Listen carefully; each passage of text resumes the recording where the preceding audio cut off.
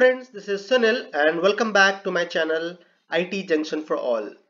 In this video, I am going to discuss about SQL scenario based interview question and answer part 23. First, the input table. Travel table has three columns namely source, destination and distance. This is the source column, destination column and distance column. Now let's come to the problem statement. Write a SQL query to get unique combination of two columns that is source and destination irrespective of order of columns as shown below. So if you see the input table once again, in the row number 1 we have source as Delhi and destination as Pune and distance is 1400 kilometer. In the row number 2, source is Pune and destination is Delhi and distance is 1400 kilometer. If you see if you will observe, source and destination got interchanged in the row number 2. Similarly, in the row, num uh, uh, row number 3, we have the source as Bangalore and destination as Chennai and distance is 350 kilometer.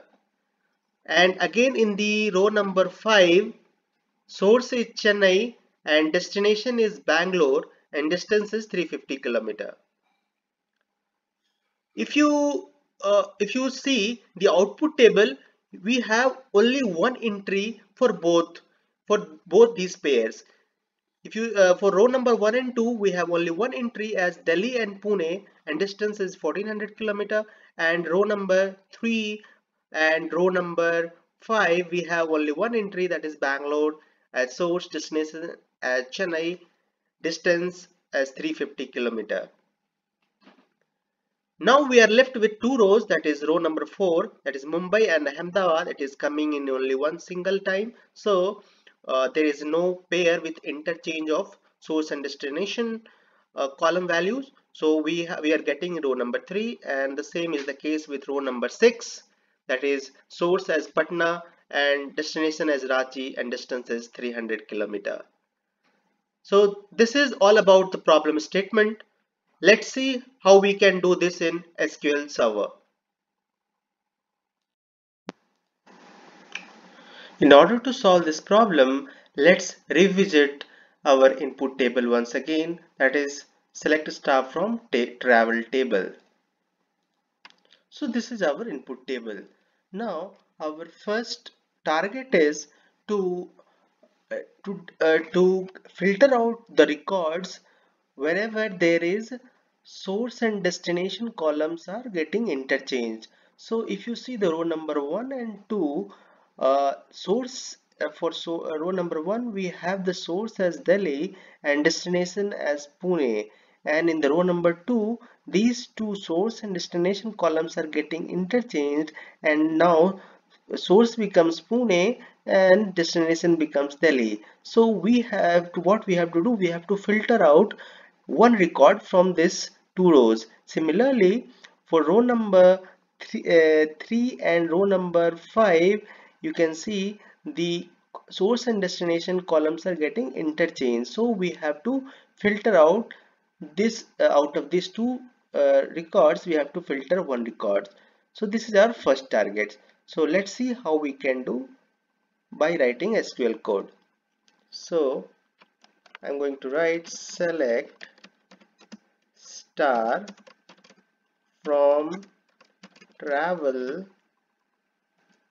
travel underscore table where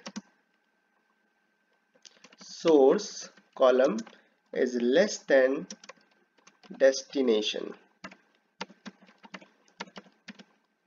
So if I if I run both the query our main table and the query which I have written just now so what we observe that wherever the the, uh, the, the rows which are coming in pair with source and destination columns getting interchanged uh, those rows uh, we are able to filter one record and we are getting uh, only one record in the output table.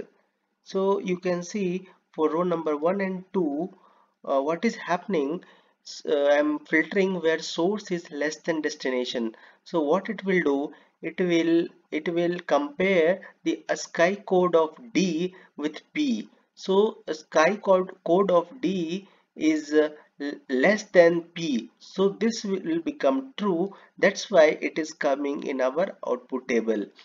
Similarly for row number 2 uh, 2 p ASCII code of p is greater than d so uh, this will be this uh, this uh, this row will become false and it will not come. Similarly for row number 3 uh, ASCII code of b is less than c and that's that's why this becomes true condition becomes true and it is there in the output table.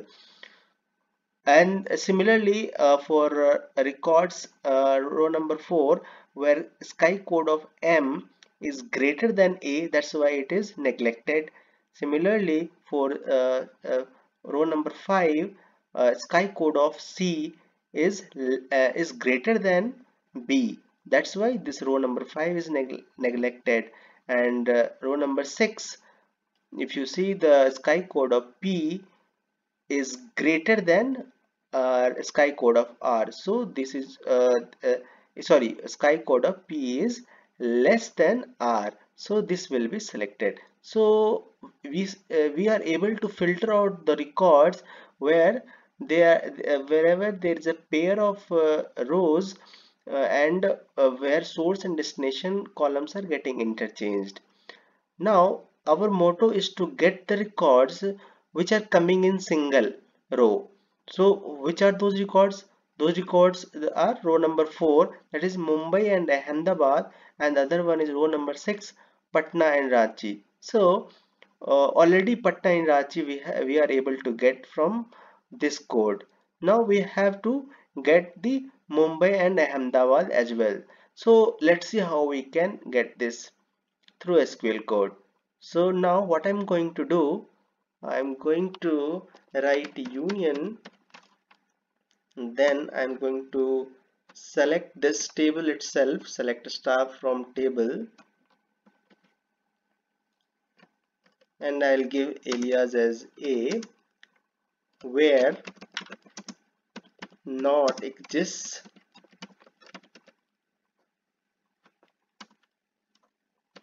now I'm going to select one from same table but this time I will give alias as b where a dot source is equal to b dot destination.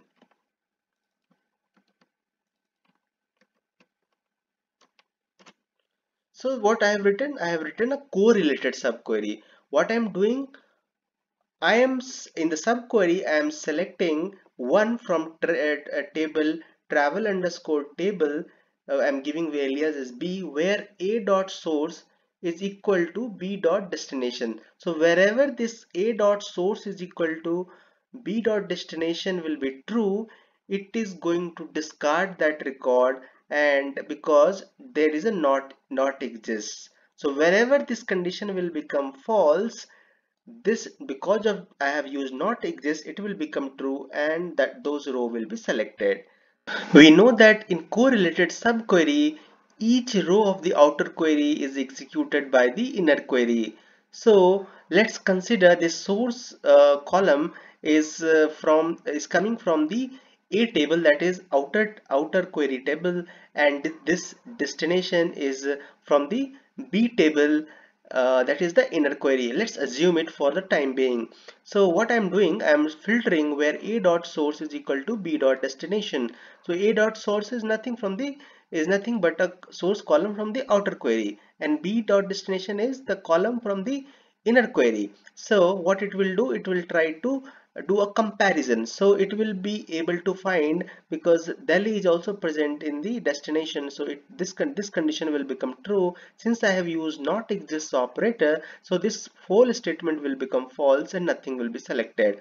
So similarly when the outer query uh, source value is Pune uh, it will be able to make a join with bit uh, I mean uh, b dot destination value that is Pune and again this will be disregarded Similarly, when the source is Bangalore from the outer query and it will be able to find in the inner query as well as Bangalore is present. So again, this will be disregarded.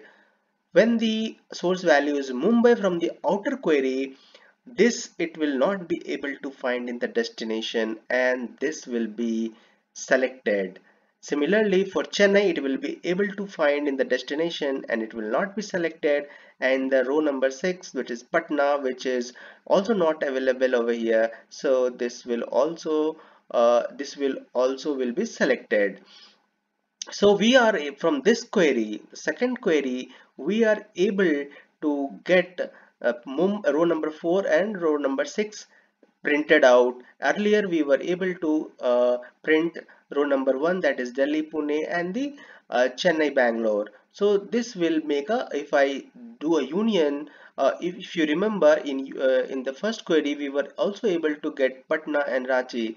And this Patna and Ranchi is also coming from this second query. So if you do a union it is going to remove the distinct row and we'll get the uh, unique combination of source and destination. So if I fire this query alone you can see we are able to get only the row which are present only once. So we got it. And the first one we got the row which were which were present in rows and we were able to filter out one one row from each pair and we also additionally got Patna Ranchi but since we are using a union it is going to disregard I mean, it will take a it will it will keep only one copy of this row number 3 so if I run this full piece of code